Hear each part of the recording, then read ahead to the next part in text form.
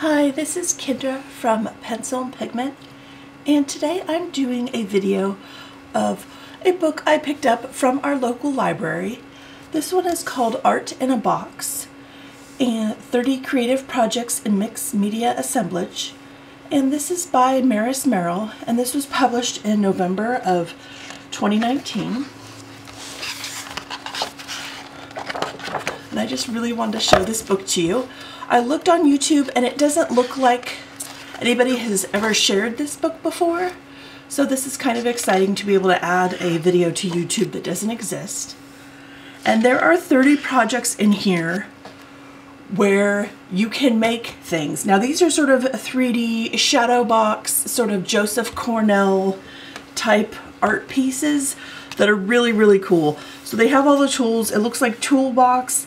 It looks like art supplies. It looks like things with bookbinding. It's amazing. And then all the scrap found items you could muster. So old toys, leaves, sticks, matchbox, keys, spools, marbles, stickers, old books, maps, papers. And then they show how to build boxes in this book. And I just think this is really, really incredible. So if you are doing a no-buy like myself, if you are receiving boxes from ordering things online, um, we get all our vitamins and toiletry products um, shipped to us. These things could be made from cardboard. Refitting cardboard, glue gun, paper. These are beautiful. And it shows how to make this and fold the paper and put, uh, that's just really, really cool. It's really beautiful. This one actually looks like foam core, which I don't have and I can't purchase because I'm currently doing a no-buy for the year. But I could absolutely do cardboard and I could paint the cardboard either with some of my acrylic paint, some wall primer paint, or I could cover it with white printer paper. These are teeny tiny boxes they use to create these little shadow box effects. This is just really, really a beautiful book. And here's how they did sort of a three-dimensional pop-up. Uh, it's really, really cool. This book is beautiful. Very step-by-step -step instructions. If you are interested in this book, I would highly recommend you contact your library and see what their purchasing program is and see if you can get them to pick up this book because it's phenomenal and it would add to your community. And they did sort of like little poles and wires and hung things from those. And that's really neat. Here's string. You could use kite string, dental floss, baker's twine, any found item. Here's cardboard. And they kept the corrugated raw edge, and that's beautiful. Old letters, notes, Look at the back. It's all stitched. That looks really cool. And this is all monochromatic, so they did all blue items. you could do something from a walk. You could do a memory box of a loved one. Here's pencils, art supplies that they chose to, that would look really, really cool hanging in an artist studio. Really beautiful. And here it looks like blue thread they created like a fish type C. Here is how they created an arched shelf within this box, and that's beautiful too. That's a really cool idea. Um, if you like the idea of entomology and pinned insects, but don't want to actually hurt them or don't have these in your area, because the way to sort of preserve these is very specific, you could print you could print insects on your printer and create sort of a faux faux pinned insect shadow box and that would look really neat. Here's old postage stamps. That's beautiful. Here's cut items and they used pins. So if you have pins from sewing, you could make one, you could cut. Um, if you have wire snippers, you can cut paper clips and things like that. Here's found feathers. That's beautiful. They have little fabric swatches using this, this uh, sort of accordion fold. Very cool.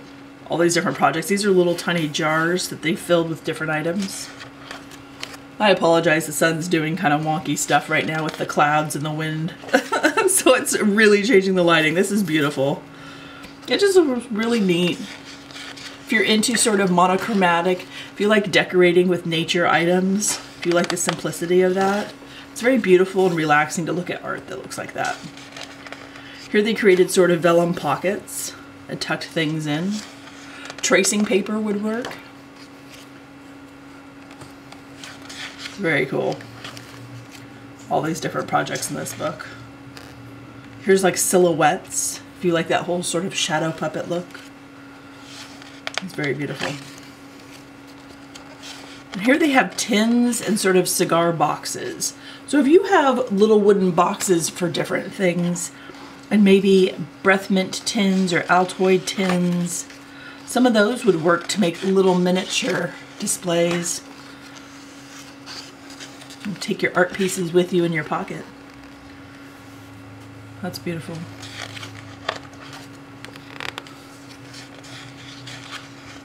You could even add some of your own illustrations and paintings to these art pieces to create your own 3D ones. See, these look like little mint tins. These are very cool. And you could decoupage them. There's all kinds of ideas. These look like sea glass. That's really pretty. You want to build a house out of foam core, it looks like. Here they use cardboard of all the pieces and all the different ideas. This book is really neat. It's very inspiring. If you're looking to do mixed media for the month of March, that is one of the challenges. Um, this could be a great inspiring book to look at to give you ideas. Again, our, our sun in the clouds right now with the wind is kind of wild. And here's the gallery.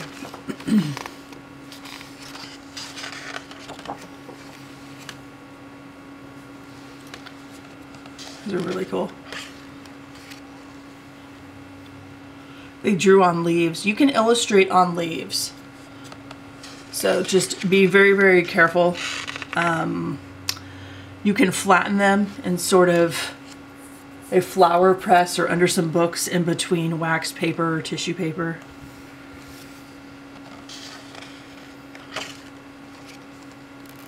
You, don't even have to put it in a box. You can make your own sort of brochure. That's really cool. Your own style of book. These are beautiful.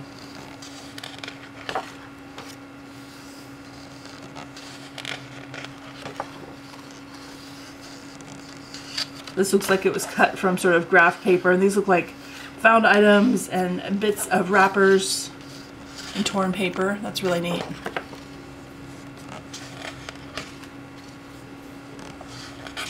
I will link this book in the description box below. Again, if you're curious and want to see this in person, ask your contact your local library. Tell them to pick this book up. This book is very, very beautiful.